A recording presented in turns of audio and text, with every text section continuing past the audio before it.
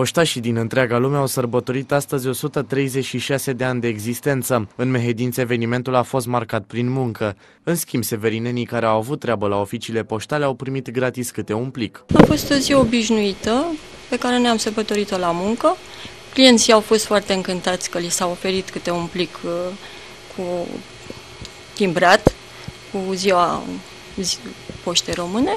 Poștașii români sărbătoresc prin uh, care lucrează data de astăzi, sărbătoresc prin muncă, însă ziua respectivă fiind decretată zi liberă, își vor lua ziua respectivă liber în decursul a 30 de zile, dar nu mai târziu de 30 octombrie.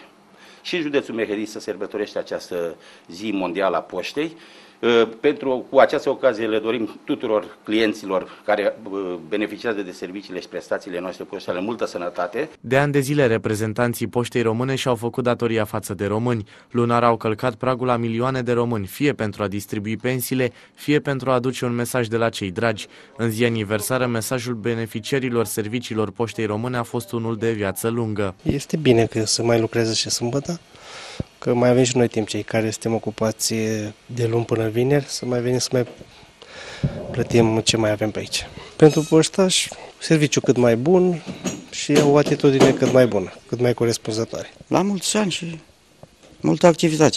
În România, în sistemul serviciilor poștale lucrează aproximativ 35.000 de persoane.